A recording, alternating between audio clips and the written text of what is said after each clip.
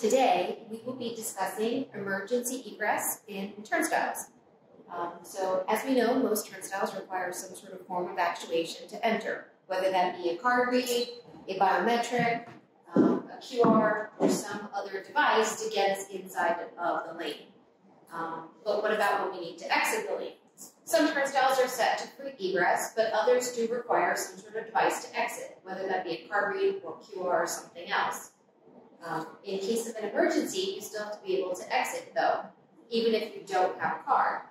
So all of our turnstiles do connect to the fire alarm system. If the fire alarm were to go off, the turnstiles would go into a fail-safe mode, whether that would be the arms dropping or the glass opening or something just de-energizing and making you able to push through.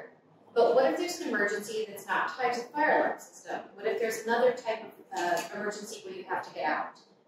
And specifically with this uh, drop arm unit, today I'm going to show you how you are able to just push through the lane itself and it will reset itself.